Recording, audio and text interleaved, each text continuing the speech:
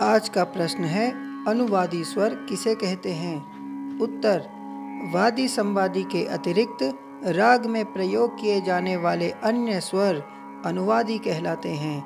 उदाहरण के लिए, भैरवी राग में म, सा के अतिरिक्त जो क्रमशः वादी संवादी है, राग के शेष स्वर अनुवादी कहलाते हैं। अनुवादी स्वरों को अनुचर की उपमा दी गई है। धन्यवाद।